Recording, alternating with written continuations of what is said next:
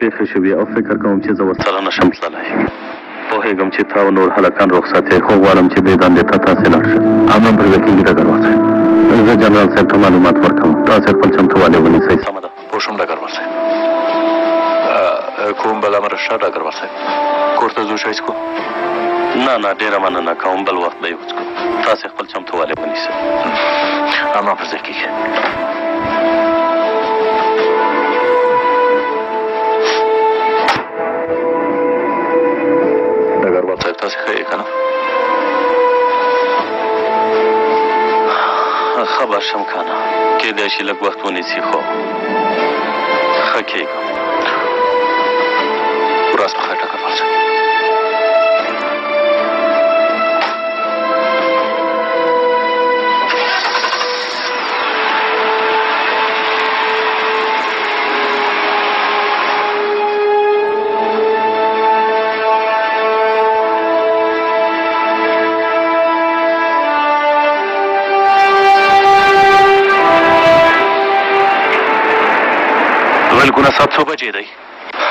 څلور بجې کېږي. اه ګرانه ولګونه هغوی مجبوره دي چې تل همداسې وخته خپلو دندو ته راشي ها زه نه پوهېږم والا په تنګ شوم لېونی کېږم ولګونه هو والا ډېر ښه خوب مې ولید اوس هم د تاثیر لاندې یم هو الله الله والا چې په خوب کې مې درته یې ووایم وې وې زه اوس اندېښ من شوم ګرانه په خوب کې مې انشاالله خدای به یې ښه کي په کلي کې یم پوه شوې داسې غټه غټه واوره ورېږي وروره وروسته بیا زه داسې ناست یم د لرګیو بخارۍ ته داسې ناست یم او خپل ځان ګرموم وروره او بله خبره دا چې پوهېږې مخې ته مې څوک راځي څوک راځي؟ څوک به راځی څوک راځی ګرانه څوک راځی څوک به راځی ګرانه ته ووایه هه څوک به راځی پریټی راځی ګرانه اوهو په والله بلا ورور جانه په خدای باور وکړه چې مخې ته مې پریټی راځی ما هم ورسره خبرې پایل کړې هیلو پریټی مای نیم از دوحان هاور یو مې ورته وویل ګرانه زما له انګلیسي نه متاثره شوه پښتو یې راسره شروع کړه والله رښتیا وایم ما ته یې وویل چې ګرانه دوحانه ما تاته کباب پوخ کړی کباب و زما په مخ کې کباب کېښوده وروره چای هم ورسره و هو او ماته یې وویل چې ژوند مې دا وخوره او ماته یې د بڼو لاندې داسې کتل ورور جانه ما هم چای واخیست روان شوم خو ته پوهیږې چې بله مې څوک مخې ته راغله څوک؟ جینیفر لورینس نعنو توبه زه درته قسم کوم وروره که دروغ ووایم نو له دې ځای نه دې زه ژوندی ونه وځم هغې هم له ځان سره شړومبې راوړې وې. ماته یې وویل چې ته دا شړومبې وڅښه ګرانه، زما فکر ګډ وډ شو، یوې خوا ته هغه وه بلې خوا ته دا وه، ما ورته وویل چې ما په ارامه پرېږدې چې فکر مې سم ارام شي. ومې ویل د خدای لپاره دا چې هغې شړومبې راوړې او بلې چای راته راوړ، نو ما ورته وویل چې تاسې په خپلو منځو کې جنګ مه کوئ خیر دی، زه ستا شړومبې او ستا چای څکم هېڅ اندېښنه مه کوئ سمه ده، موضوع څه وه؟ ته زما ګرانه، زما قوي جذابیت. البته ستا قوي جذابیت د هانجانه غواړي چې زه ستا د خوب تعبیر وکم که زحمت نه کیږي نو وې که خیر دی تعبیر یې کوم اوس ګوره دوهان جانه د دې خوب نه داسې معلومیږي چې ته کرا کرا لیونی کیږي خپل عقل له لاسه ورکوې دا واخله ویسه هغوی خاوې ته په تمه دي دا ته څه ډول سړی یې ها الله الله ما پریټي او جنیفر په خوب کې لیدلي چای او شړومبې مې لیدلي زرکه واخله ما درته خپل خوب وویل ما تا ته خپل خوب وویل ملګریه خو ته د هیڅ شي په قدر او اهمیت نه پوهیږې افسوس دې په تا وي ما تا ته خپل خوب وویل خپل خوب. په دې څلورو بجو کې راغلی خوب راته وایي خوب مې درته وویل. خوب لیدلو کې وګوره. ژوندی اوسې زویه.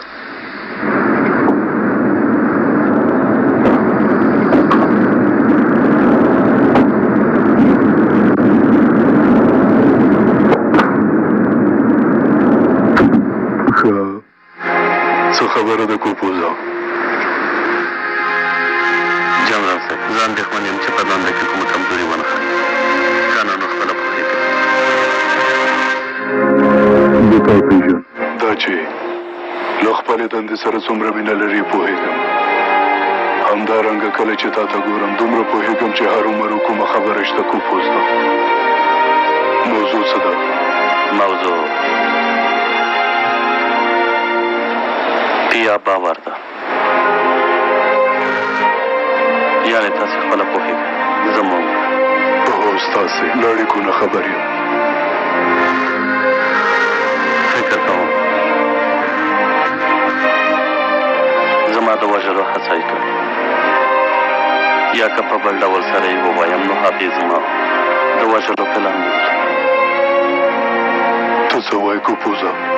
داسې څنګه کېدلی شي؟ زه موضوع نه شم پټولی، ته یې هم نه شې پټولی، ځکه چې دلته موضوع ته نه یې، دلته موضوع د ځانګړو ځواکونو په چوکاټ کې د دنده ترسره کوونکي ډګروال ده. تا څه وکړل؟ جنرال صاحب، سمدلاسه مې څارنوالۍ ته اړین معلومات ورکړل او امنیت ته مې هم په دې اړه خبر ورکړ. وروسته مې بیا هڅه وکړه چې هغه پیدا کړم خو پیدا مې نه شوه څه دې چې باید کړي وای هغه دې کړي دي هو دلته ستا د پاتې کېدلو پرېکړه هم سمه ده کوم بل څه شته ملا جان راځي سمه ده ډلې ته خبر ورکړئ پنځلس دقیقې وروسته پرواز کوو امر پر ځای کېږي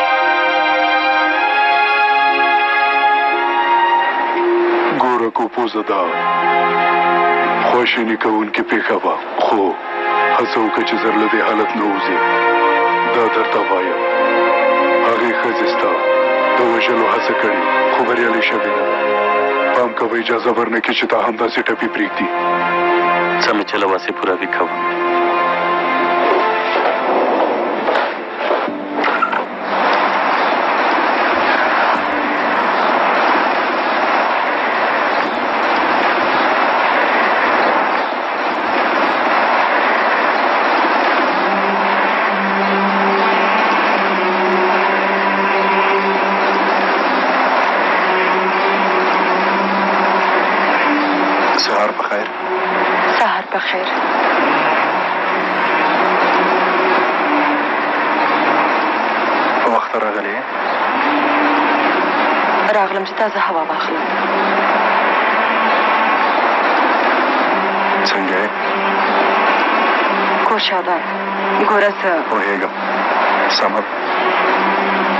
پوهېږم.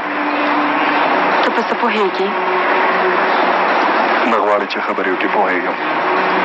ته غواړې چې د پخوا غوندې زموږ تر منځ باید کومه ځانګړې اړیکه نه وي، پوهېږم.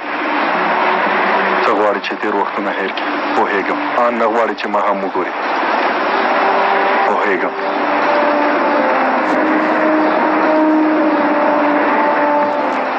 زه په دې هر څه راضي یم.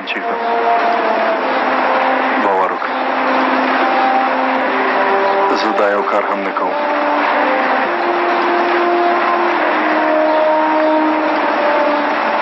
یوازې په دې پوه شه د دې لپاره چې ستا مورال بېرته ښه شي څه چې لرم له هغو ټولو نه تېرېدلی شم ډېر څه نه څه چې لرم یوازې په دې پوه شم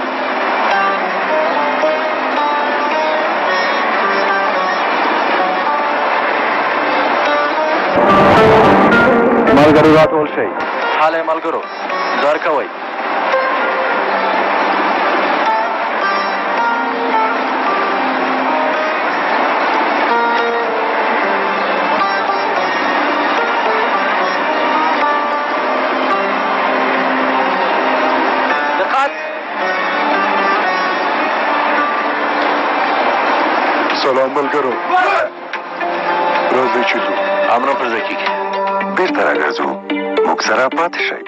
در هنگام خریداری محصولات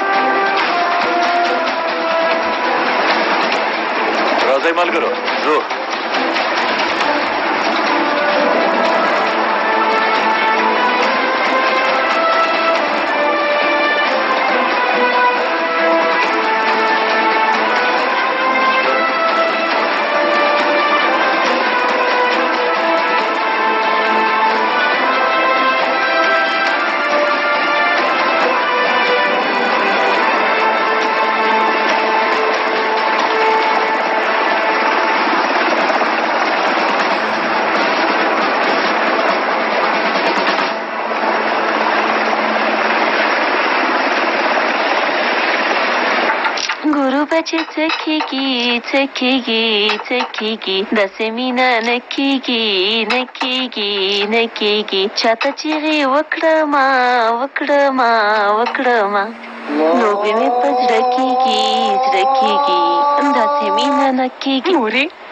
اعا پاڅېدلې لورې؟ تر اوسه خو لا وخته ده لږه به نورم ويده شوې وې. تږی يم اوبه څکم ته ولې نه يې ويده شوې؟ خير کې ورور مې دې ولېږه لور جانې وروسته بيا ماته خوب رانغی. ښاغلی کان لاړ؟ لاړ. غوسه يې سړه شوې وه کنه؟ نه ګرانې هغه به ولې غوسه اوسي تا ونه لیده پرون یې د ټولو په مخ کې څومره شور ماشور وکړ مورې ته ولې خاندې ها سهار هغه ستا کوټې ته دننه شو او له مخ نه یې ښکل کړې لور جانې وروسته بیا په خوشحالۍ سره لاړه او ما ته یې هم د موټر کیلي پرېښوده ویې ویل چې یلدز ته یې ورکړه په رښتیا هم همداسې یې وویل هو لوري ته دې ورور نه پېژني که څنګه؟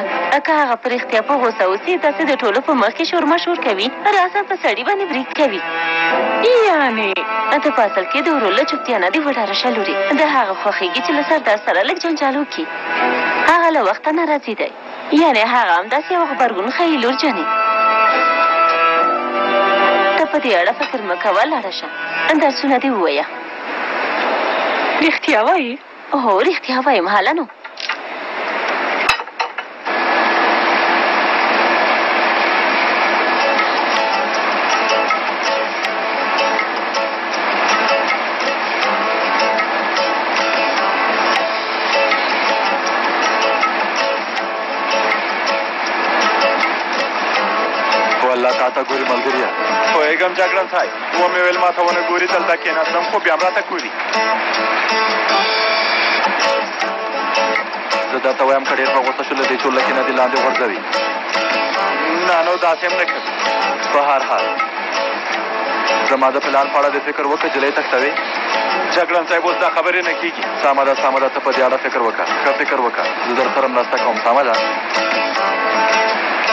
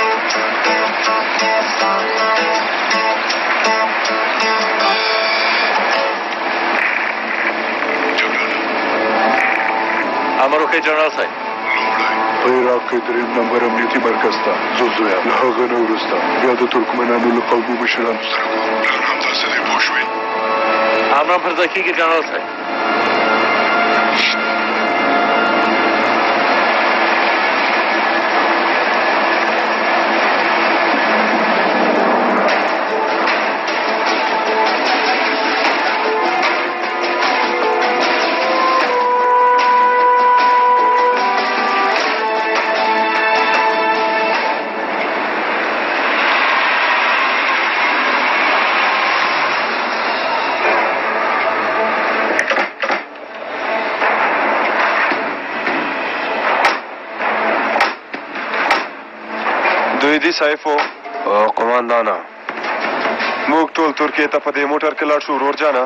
وروره په دې وختونه کې په دې لاره کې ډېر بندیزونه دي یعنې د پاسپورت په وسیله نشي تللی په دې موټر کې تېرېدل بیخي ډاډمن دي یعنې زما په ټول د شپې له خوا نه تېرېږو. حسنم دوی خو ایله.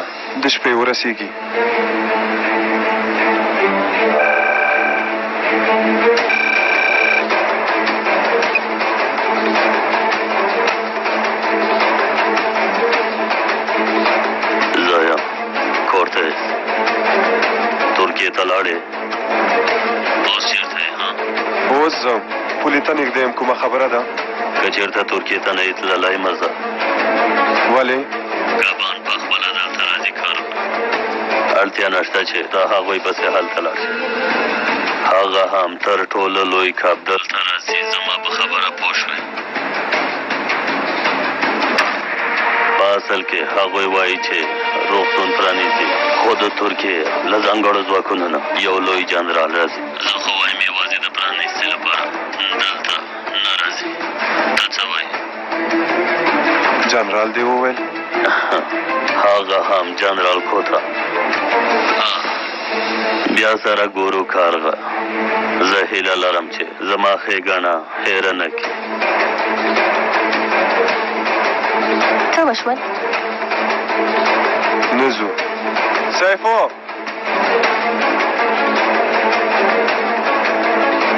سیفو! چتو! تاسې دلته ما سره پاتې شئ. راځیې، ته ترکیې ته لاړه شه. چتو! ته ماته کسان پیدا که، سمه ده؟ هر څومره چې وي. سلامده قوماندان.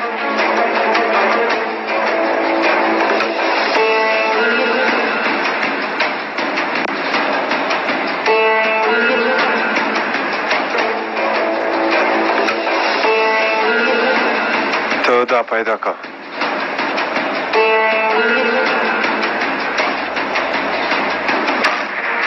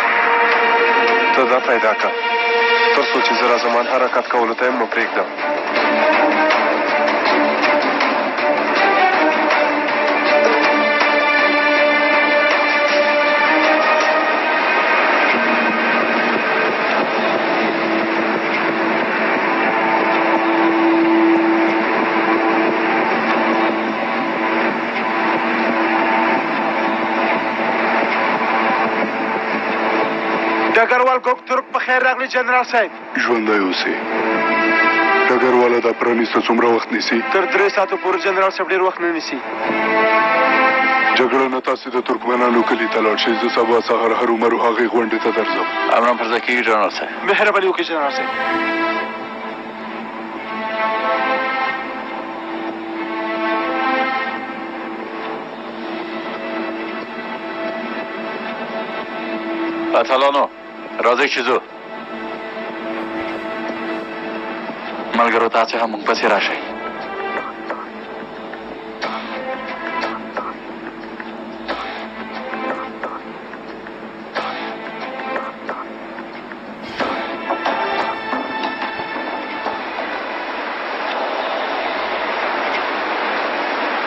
والله که رښتیا ووایم زه ډګروال کوپوز په دې وروستیو وختو کې د لیلا په څیر وینم داسې په ښکاره ډول یې فکر خراب شوی والله کومه عادي خبره نه ده بس ما خو درته وویل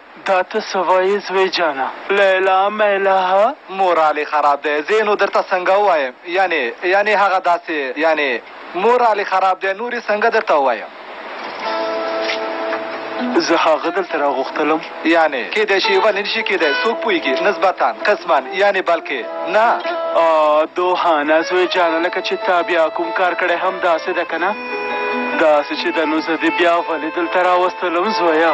پاشا صاحب خپله پوه شه کنه هغه ماته وویل چې ها کار لانګیچ پاشا ته مه وایه چې ما دلته راغوښتی. ما هم هغه ته وویل چې امر مو په ځای کیږي ډګربال صاحب. اوس نو زه تاسې بیایم پاشا صاحب که چیرته هغه په ما غوسه شو یعنې ډګروال کوپوز زه ورته وایم ها ډګروال صاحب زه غلط پوه شوی وم ما فکر وکړ چې تاسې دلته راغوښتی دی. ځان په ناپوهۍ وهم یعنې ځان تېر باسم. یعنې زه څه وکړم پاشا صیب؟ د ډګروال د ښه والۍ لپاره فکر مې وکړ چې ستاسې خبرې به هغه ته ګټه وکړي پاشا صیب. وای وای وای ته څومره یو پیاوړی، هوښیار او زړور انسان یې با اندره هلک ګرانه! داسې چې د نزوحله زرکوه چې زه. ځو پاشا صاحب امر مو په ځای کیږي.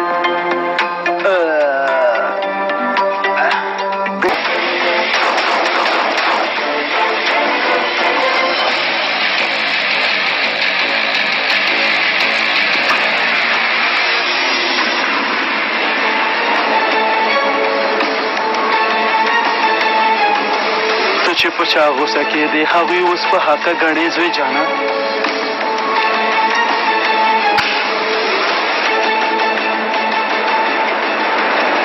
په قهوه کې یو ډول زهر ګډ کړي و پلار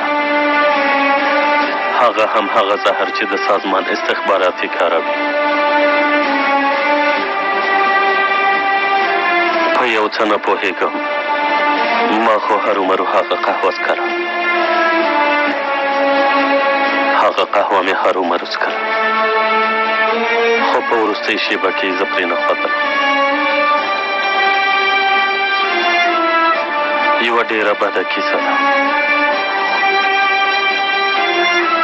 هو یوه ډېره بده کیسه ده ما د مینې لپاره دا لاره ونیوله خو ما د خپل ځان په وړاندې د ترهګرو په شمېر کې یو بل کس هم زیات کړ. ټوله خبره همدا ده.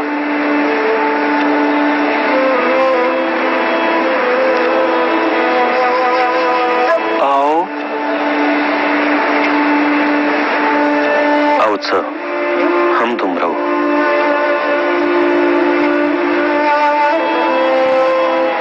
یانې ته اوس ما ته څه نه وایې پلار جانه؟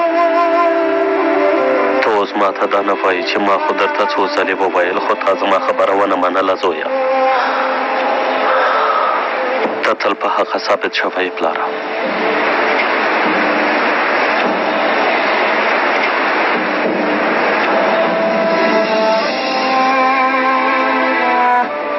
زویا په اصل کې ما ډیر غوښتل چې په دې موضوع کې زه هیڅ کله په حق ثابت نشم ډیر زیات می غوښتل کاش چې زه هیڅ ته لا په حقه نه وې ثابت شوی زویه. خو بیا هم ثابت شوې.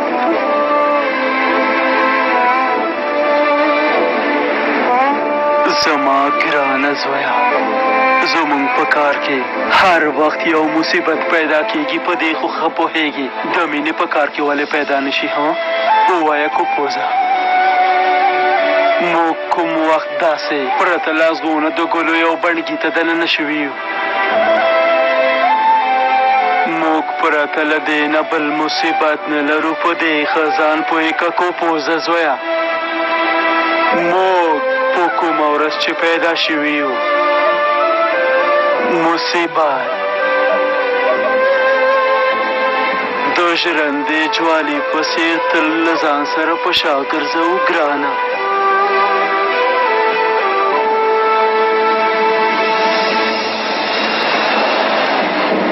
که چیرته ټوله نړی یو هم شی ترکیه هیڅکله له منځه نشی وړلی زویه.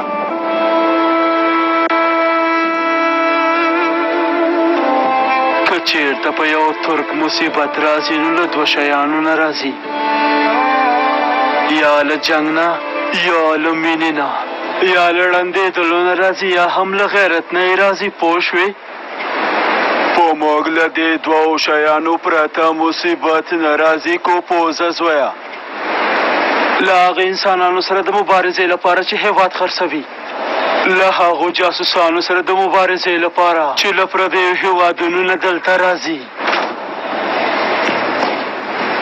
د نړۍ له رزالتونو سره د مبارزې لپاره د یتیمانو د حق، د مظلومانو د آه، د غریبو د وینې د دفاع لپاره، د رزیلانو د رزالت د مخه نیولو لپاره، د ظالمانو د ظلم د مخنیوي لپاره باید ډګروال ابراهیم کوپوز باید د یوې ښځې د درد له امله په بستر کې وغورځېږي، زویه! ووایه کنه!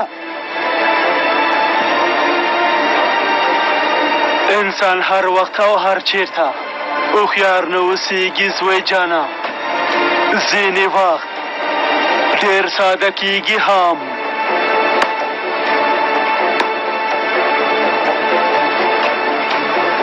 پام کوه پام کوه چې خپل همت له لاسه ورنکې زویه سمه ده ما په څلوېښت کلونو کې یو زمری وروزه ما ته داسې مه راګوره د زړه غوښې دې مه خوره زمری وې زمری پاتې شه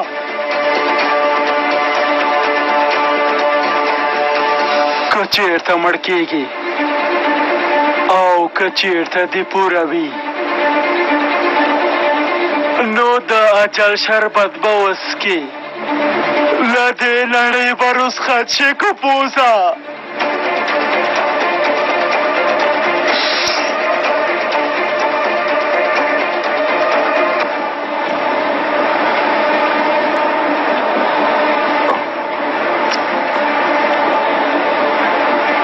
زه ستا حق څنګه ادا کړم پلار جانه؟ څنګه یې ادا کړم په اصل کې که چېرته کله او پاچا راباندې وخوري خوشحالېږم البته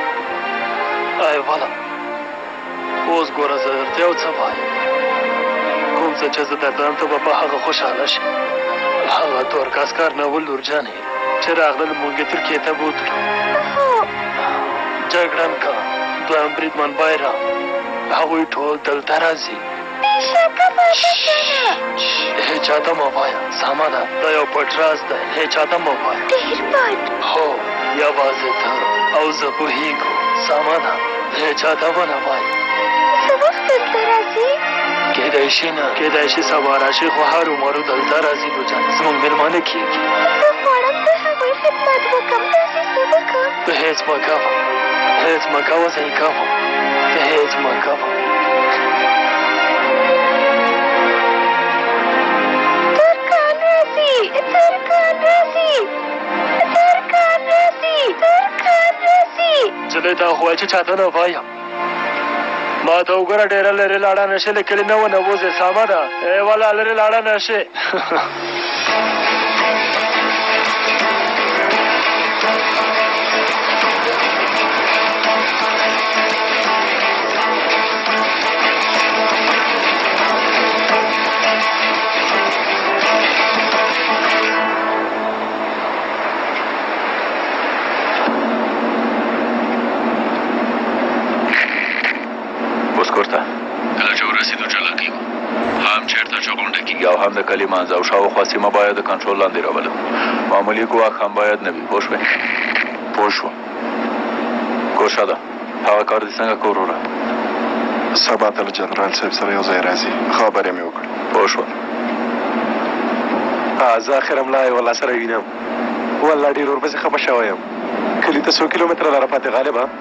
کلی ته څو کیلومتره لاره پاتې؟ ډېره لږه پاتې ده وروره، یانې نهه یا لس کیلومتره لاره پاتې. اه دومره لاره نه ده پاتې ورسره وینم جګړن صاحب. جګړن صاحب تا یې والله هېڅ نه ده لیدلې کنه؟ که یې وګورې ډېره به دې خوښه شي. خدای دې له بد نظر نه وساتي.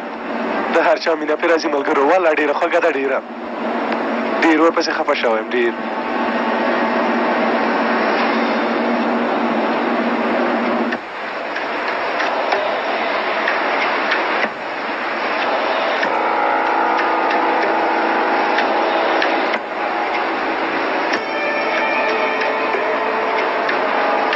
ویې ویل چې درې موټر عسکر را روان دي رئیسه پنځلس شل دقیقې وروسته کلي ته رارسېږي بیرغ ورسره شته Bayrak. Bayrak, bayrak. هغوی دلته له ځان سره بیرغ راوړی سیفو والا نه پوهېږم په هر حال کله چې راغلل پوه به شو زموږ موخه جنرال دی هېڅ بېړه نه لرو سمه ده سمه ده قوماندانه. کسان څنګه شول چتو د شپې له خوا دلته را رسیږي دېرش کسان مې برابر کړي له خپل قوم نه.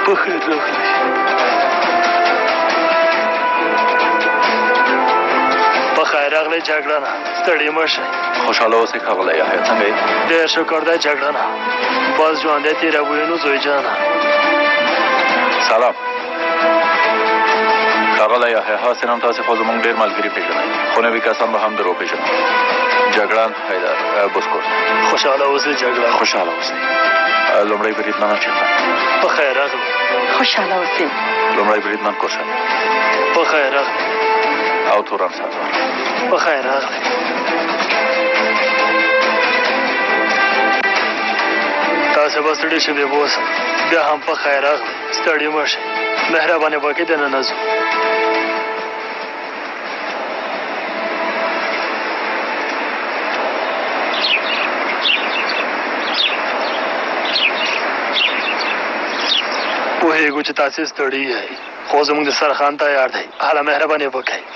لومړی خپل کار کوو، وروسته بیا ان شاء الله ډوډۍ خورو، ژوندی اوسې. څنګه چې ستاسې خوښه وي جګړنه، که چېرته زموږ د کولو لپاره څه وي، تاسې یوازې امر وکړئ. ژوندی اوسې.